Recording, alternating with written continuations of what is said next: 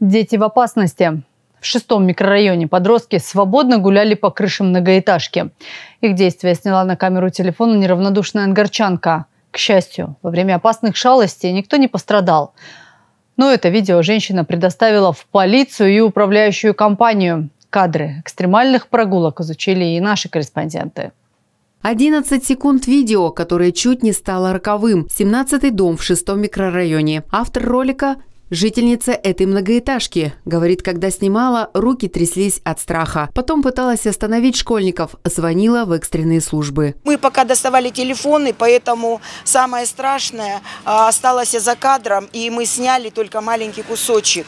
А, мне бы, конечно, а, не хотелось, чтобы вот это подобное повторилось, потому что дети, летний период, и дети некоторые предоставлены себе.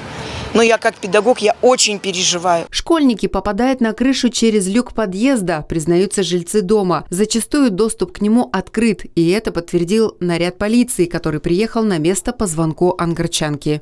В настоящее время сотрудники по делам несовершеннолетних устанавливают личности подростков, участвовавших э, в инциденте. А, вместе с тем в управляющую компанию вынесено предписание о недопустимости доступа от третьих лиц на чердачные помещения. Дети, гуляющие или загорающие на крыше – не редкость, говорят соседи. Подобную картину многие наблюдали на домах в 18 и 29 микрорайонах. Это смертельно опасно, это страшно. Я очень переживаю не только за свою дочь, за всех остальных детей исключительно. Это просто ну, недопустимо, что у них есть доступ туда. Я уверена, что это не единичный случай, что таких полно зданий, где есть свободный доступ. О проблеме хорошо знают и специалисты управляющей компании и считают, что в подобных происшествиях виноваты сами подростки и их родители, которые не следят за своими сыновьями.